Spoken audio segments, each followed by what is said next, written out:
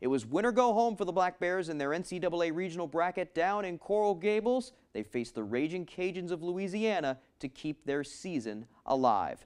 Top five, Maine down 7-1, but Jake Marquez says, I think I can help. That one's going to hit the track. A two-run shot to left that scores Dean O'Neill. It's now 7-3. Bottom five, 8-3 now.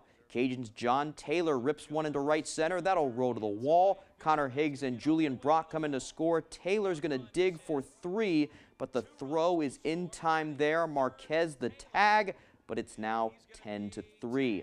Top six, back and forth we go. It's Dean O'Neill's turn with a runner on. The freshman catcher, a jack to left. That's his first homer as a Black Bear, and what a place to do it in. Matt McElwain scores, and it's 10 to 5.